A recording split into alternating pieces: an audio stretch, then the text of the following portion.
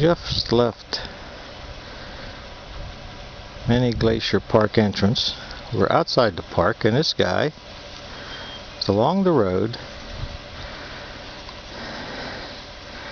having breakfast. He's not the least worried about me. I've left the door open, at least I have to get back in the vehicle.